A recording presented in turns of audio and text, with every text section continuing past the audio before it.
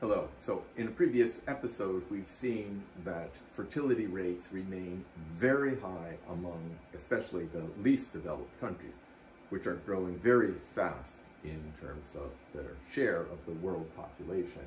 And so one approach that helps us understand these decisions is the microeconomic household model. This model goes back to the 1960s when it was part of the so-called New Home Economics, developed among others by Gary Becker, who won a Nobel Prize in part for his work in this area. I'm going to use a bit of Gary's terminology, although it does strike us as being a little strange for the most part these days. And in particular, the idea is that the demand for children in developing countries comes from two kinds of sources. The first has to do with the reasons we usually think of for parents wanting to have more children. Namely, it's a wonderful family experience. And so in this new household model, they thought of that as like a consumer good because it's something that brings happiness and satisfaction. And rather than something that's only happening now, it happens over time, over your life. And so they thought of it as analogous to a consumer durable, which you have to pay something for, but you have lasting benefits of enjoyment as a result. So they thought, well, the first two or three children might be consumer goods and thought of in this way, but additional children might be thought of in, as investment goods in the sense that the children are helping you by working on your farm, um, perhaps eventually at another job. Um, and so that is really quite um, an important factor at some point. Um, perhaps working for your micro enterprise, um, very common. And then last, related to this investment goods idea, is this old age security fertility motivation.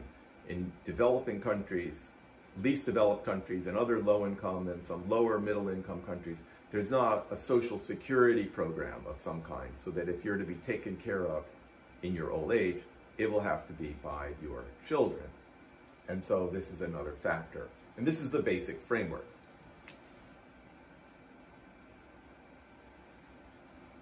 And so then we can just write this down in symbols in order to see what the relationships are. We have a um, a function here that tells us how many children the family will want to have. Of course, surviving children becomes a factor. The number of children you want in your family, as you say, start out your family, depends on a few things. One is the level of household income. And if you just think of numbers of children as being the good in question, as income rises, you want to have more children. And of course, this is related somehow to the Malthus model. And so it's going to get some um, attention. But the issue here that economists have found is that indeed, families spend more income on children when income rises. There's just a positive relationship between um, income and the amount spent on children. The difference has to do with how much you spend on each child. This original theory referred to it as child quality versus child quantity, so that when you have the opportunity, you may prefer to have two highly educated children who got their BA or BS from GW rather than 20 children who are not educated. So that's the idea here. P is this net price of children. So of course it costs a lot to raise a child. In fact, in developing countries, it costs a fair amount. Also, from the point of view of being a family possibly living in poverty, the net price of children is where this investment good idea comes in. It costs less to raise a child if, on the other hand, the child is contributing to income by helping work on the farm.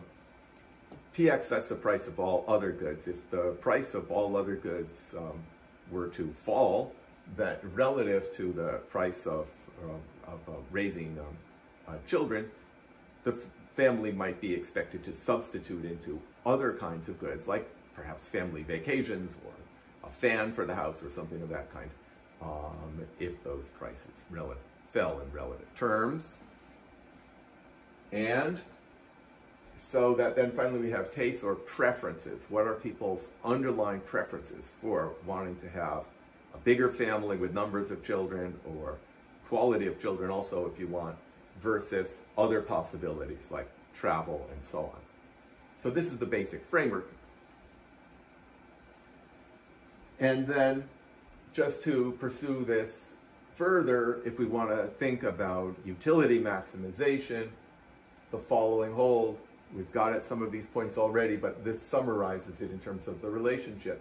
The higher the household income, the greater the demand for children. And what we've seen is that in practice, when families have an opportunity to spend to raise quality of children, rather than just have more children, they will tend to do so. So that's what we understand by demand for children more broadly. The higher this net price of children, the lower the quantity demanded, the higher the prices of all other goods relative to raising children, greater quantity of demand for children, and finally, the more people prefer to have children to spend on their children out of the income that they have available, um, they, the more they spend on, on children, and vice versa. If people prefer furnishing their house and going on trips rather than having more children or investing more in their children, they will uh, do the latter. They will have fewer. And so, in the theory of fertility based upon microeconomic analysis, there's a few implications. You expect the fertility to be lower in a number of cases. One is which more female non-agricultural employment is, is available and at higher wages. So here the notion is that the main opportunity cost of raising children for women in developing country families is that they cannot go out and get work. They are focusing instead on raising children and productive activities that they can do at the household. So this is non-agricultural employment, which is often at higher productivity and at higher wages. So that's the main point of, oppor of opportunity cost. And so just as a bit of a look ahead, this is all related to policy implications. If you want to have lower fertility, if you want to lower fertility in a place like Congo, one important way to do so is to have higher female employment opportunities. Related to that, raised women's education, women are more aware of different alternatives that they may not otherwise be, but also when women are educated, they are more productive and then they have a greater chance at getting this kind of employment and getting it at higher wages. Their role so that in society, women are thought of as not just mothers, but also as perhaps professionals. And then status, which has much to do with decision-making power. The fact is that when you do surveys of families in developing countries, typically the husband will want to have more children on average than the wife. The difference on average might be at most one, but that's enough to make a very big difference.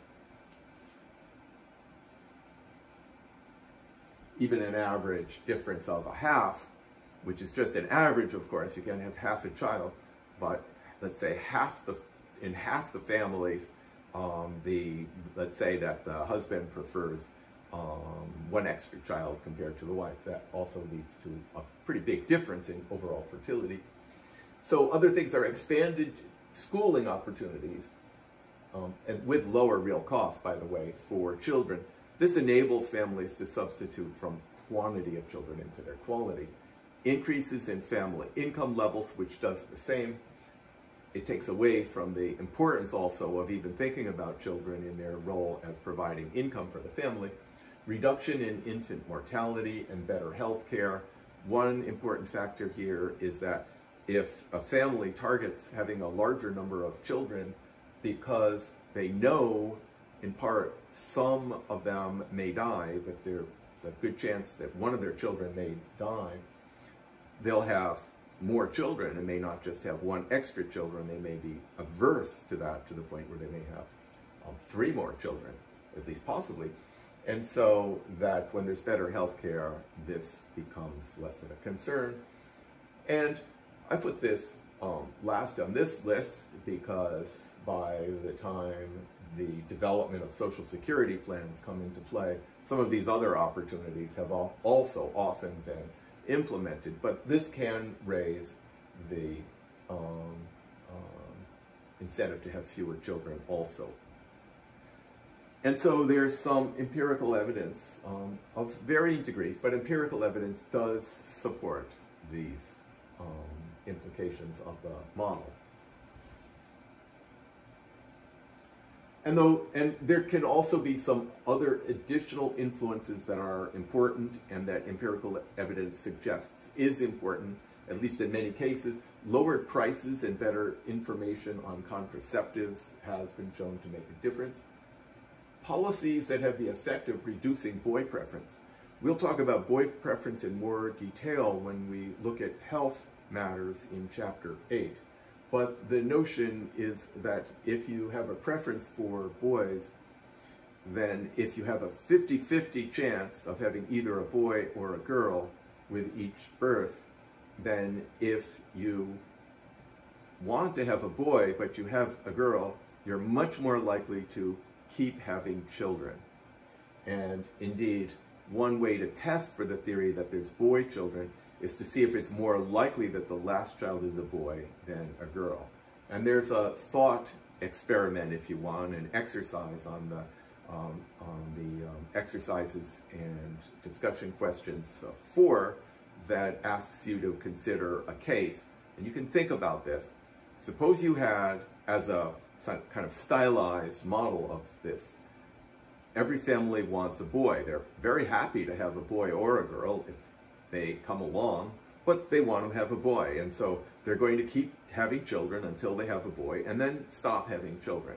Now, in that scenario, if the chance of having a boy or a girl is 50-50, will there be, in the end, more boys than girls, more girls than boys, or about the same?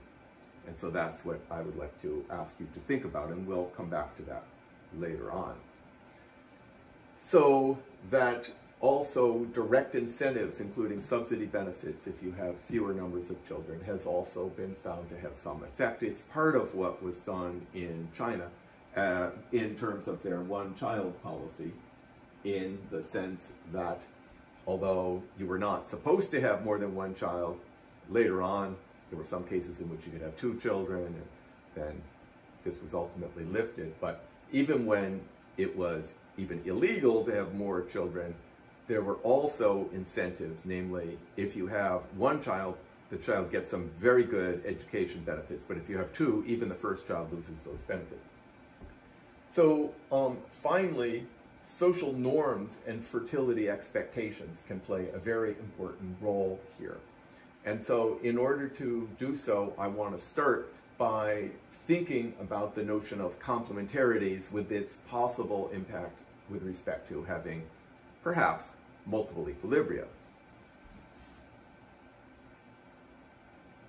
And so in this regard, we can think about, on the one hand, on the x-axis, we can talk about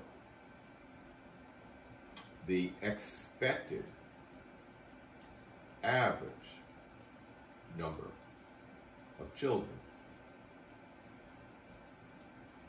in the reference area, such as a group of villages in which we have some um, possibility of intermarriage and so on, so there are social linkages. And on the y-axis, we have the individual family response. In a sense, their logical response based upon the framework that I just developed about what preferences of families might be relative to costs, the different and, and the different um, benefits that you might have from having children. And so here, the idea is that the family, among other things, something that we haven't gotten to yet, among other things, part of their preference for children depends upon the preference of others. That's complementarity. People respond to the social framework in which they live and find themselves. And perhaps that's really clearly seen in terms of decision to have children or not. And so that can be seen in many contexts and very strongly in developing country um, contexts. So that to begin with, we can say that there's some kind of complementarity. That is to say, when others are having more children, our family decides to have more children also.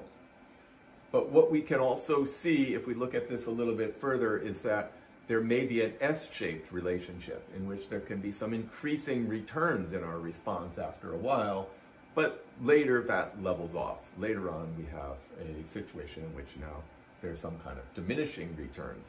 And so we can begin with the thought that certainly some people are just going to have children, they're just determined to have children, even if nobody else is, right? So that even if the expected amount is zero, at least some families are just going to say, well, we're, we're having a children, we, you know, we know we're different than others. Um, and so the idea is that this um, relationship can be, um, in fact, increasing at an increasing rate for a while before it begins now increasing at a decreasing rate the S-shaped curve relationship. So we know we have this necessary condition for multiple equilibria because we have this complementarity, but this increasing return segment suggests that there's a chance of having at least two equilibria.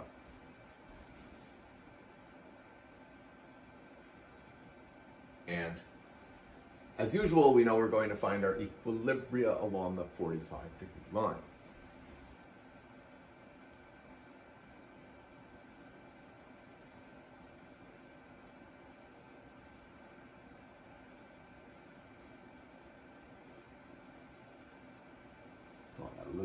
Carefully, we have one possible equilibrium which relates to a low level of fertility, such as perhaps two children per family, and another equilibrium which represents very large families, say eight children on average. And so there's a positive response because of complementarity, but perhaps this response is increasing at an increasing rate at first, and then increasing at a decreasing rate later, which is described briefly in the textbook. This is um, referred to as our figure 4.1 reinterpreted. Figure 4.1, if you may recall, was the relationship between the average expected investment levels in an economy and then the individual firm's profit maximizing best response in terms of investment. And so why might we see this? So the general complementarity is just about social norms. We just respond as humans very typically to expectations and the social behavior of others around us. And so increasing at an increasing rate, it can be in response to negative impact of average fertility on wages. So there are many workers potentially in the future when the children are old enough to work. And if the supply of labor is high, then wages will be lower. But also it could be response to a negative impact on the probability any one child will get a modern sector job or a higher paying job. If we have just one child and the chances are equal for any child, no matter what, of getting this job, if other families are having eight children, this is lowering our child's chance in the lottery, so to speak, of getting one of those jobs. So we may want to have more children just for that reason. And also there's some other benefit. If you have older children, they can take care of younger children.